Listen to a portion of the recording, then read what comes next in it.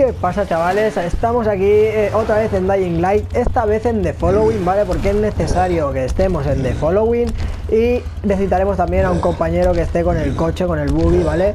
Eh, estoy con Derek otra vez, Derek, saluda otra vez.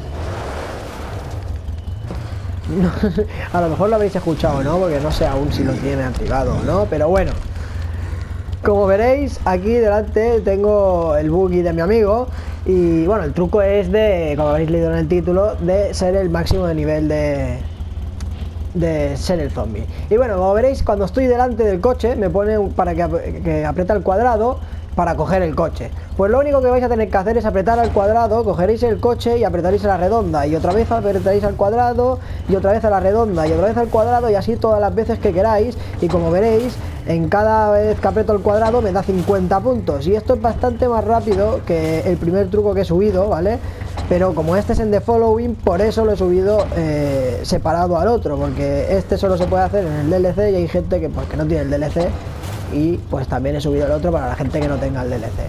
Este, yo prefiero este básicamente porque nuestro amigo no tiene que estar matándose apretando a todos los botones para soltar las bengalas y, que es bastante, bastante rápido también y nos da lo mismo que nos daba el otro, el otro truco.